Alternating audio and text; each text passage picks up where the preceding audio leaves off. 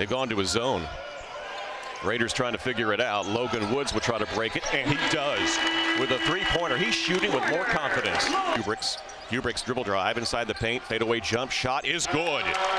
From about 16 feet away, gives the Raiders a tie at 24. It's the three. Now he'll take it inside, leave it for Noel. Reverse layup is good. Huibregtse, Huibregtse pushing it to the middle of the floor. Huibregtse in traffic, into the corner to Holden. Back out front, Calvin. Calvin, stop and go dribble. Throws it back to Huibregtse. He's open for three. He got it. Alex Huibregtse puts the Raiders up by four with 3.28 to play in the first half. Works against Duffy, now it's double team behind the back dribble. Backdoor pass to Holden, he goes up and lays it in. Huibregtse on the wing. Down in low, finds Noel, who lays it up and in.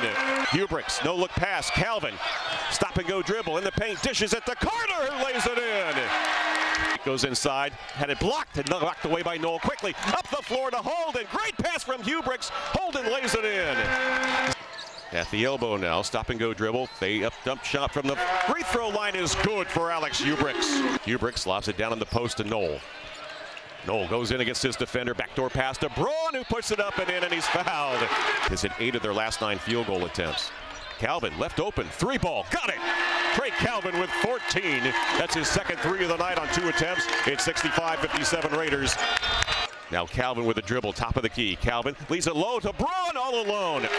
Calvin drew the defense and Braun got the easy deuce. Calvin, Raiders looking to push it up the right sideline. Holden, Holden lob to Noel, who dunks it. What a look from Tanner Holden. That got the crowd up out of their seat.